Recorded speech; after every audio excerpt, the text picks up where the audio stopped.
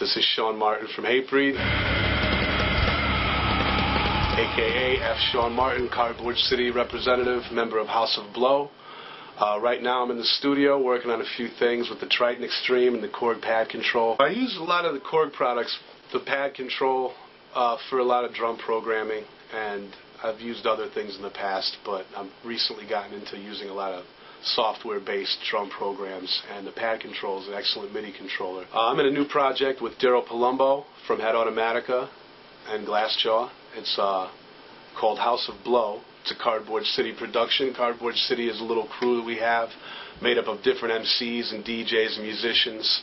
And uh, between all of us, it's mostly electronic-based music. And House of Blow is the newest project out of that little crew that we have, and it's me and Daryl. We're really focusing on it being electronic based. When I say that, it's all the beats, all the drums, all the keyboards, obviously, all the sequencing is basically done with a Korg Triton or a Korg Triton Extreme. When it comes to writing for Hatebreed and stuff, I'm really looking forward to using it to lay down drum patterns. It's a great writing tool for that stuff as well.